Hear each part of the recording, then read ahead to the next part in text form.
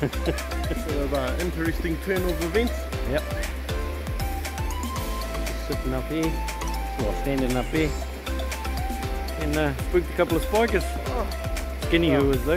They spooked us and Yeah, pretty cool though. yeah, close as. Fuck yeah. Couldn't get a shot away. Probably all of about 10 metres of that. Been smelling them all the way up. Fresh sign right here. We were Yeah, just up there. Down here. Yeah, so probably closer than 10, maybe 5 metres. But they kicked around for a bit. yeah, a few high noises and they wondered what was going on. But They thought mummy had come to pick them up from daycare. yeah. Probably the wind. Swirly. Yeah. We'd have come through this way, we probably would have them.